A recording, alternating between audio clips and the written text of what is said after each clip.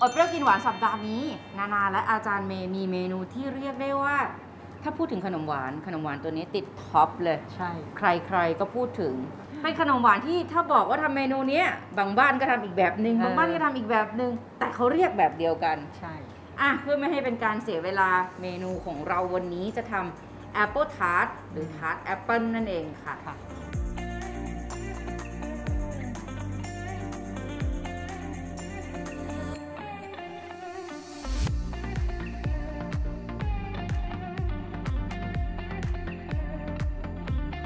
าบอกว่าทำตัวแป้งทาร์ตเนี่ยเราก็ต้องเลือกใช้แป้งที่เบาเบาๆใช่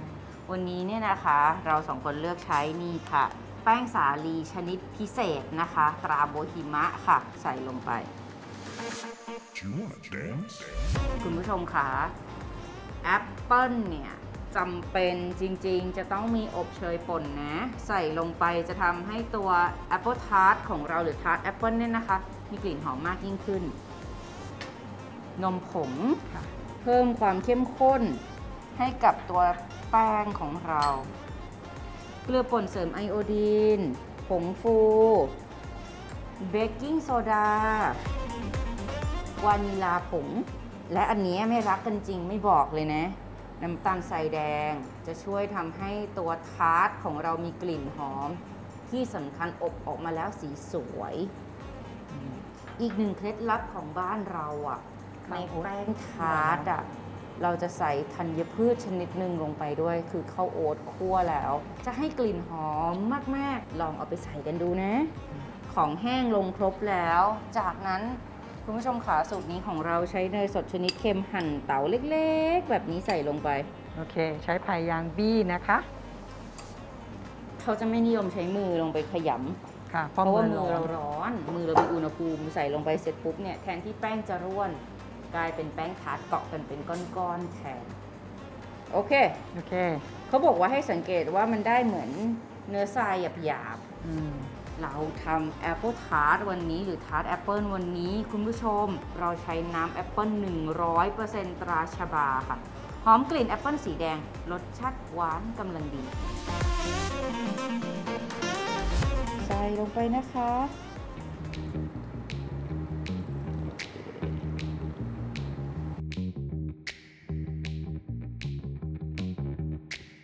เรียบร้อยแล้ว เดี๋ยวเราจะเอาส่วนผสมของทาร์ตเราเนี่ยไปกรุลงพิมพ์เนาะใช่เราก็คลึงให้เป็นแผ่นแล้วเอาคัตเตอร์ตัดแล้วก็ใส่ลงไปพิมพ์ซิลิโคนได้ค่ะ อืมโอเคค่ะ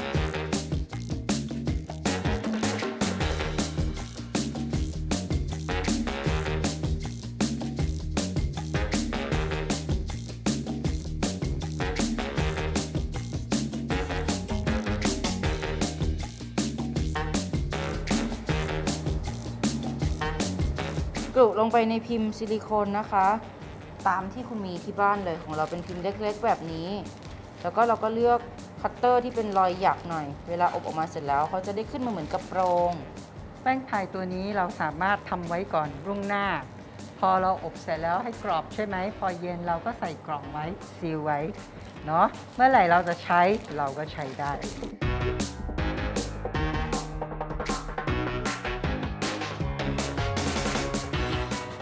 ร็จแล้วนะขออนุญาตเอาตัวนิ้วเนี่ยนะคะ กดเข้าไปข้างใน อันนี้ไม่ได้เล่นนะ อันนี้ตั้งใจทำจริงค่ะ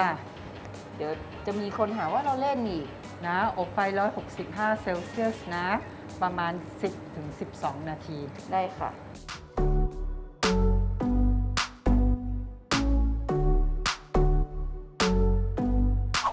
ระหว่างรอแป้งทาร์ตของเราอบในเตาอบ อืมอาจารย์เมย์จะทำไส้กันค่ะ ค่ะ น้ำตาลทรายแดงกับเนยสดชนิดเค็ม น้ำตาลทรายแดงมาทำกับเนยจะมันทำให้เขาหอมนะเพราะแอปเปิลพายเขาจะต้องหอมมีน้ำตาลทรายแดง โอเค พอเขาเป็นฟองๆอย่างนี้ใช่ไหม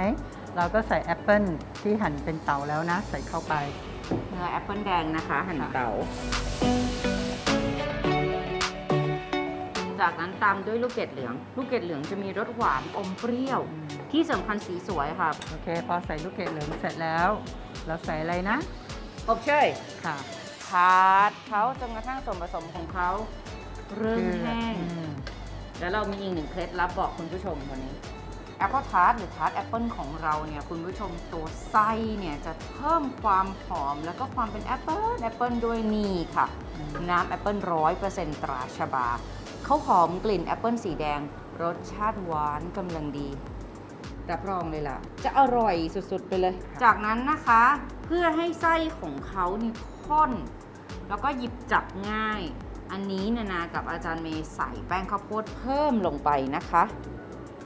หลังจากใส่แป้งข้าวโพดแล้วจำเป็นจะต้องผัดจนกระทั่งเขาเดือดอีกครั้งหนึ่งนะ เดือดแบบนี้แล้วเราจะเห็นว่าสีของตัว filling อะคือตัวน้ำอะเขาเริ่มใสขึ้น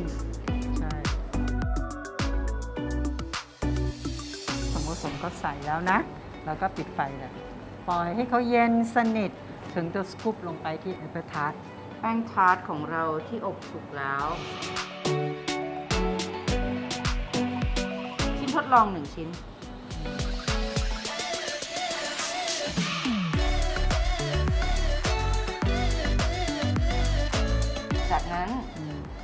อาจารย์เมย์ก็มีใบไม้อ่าเขาตั้งใจจะวาง in the center นะอ๋อเหรอ yes ดีมากเลยสวยเหลือเกินแบบนี้เราเชื่อว่าหลายคนก็คงรู้สึกว่าอืมน่ารัก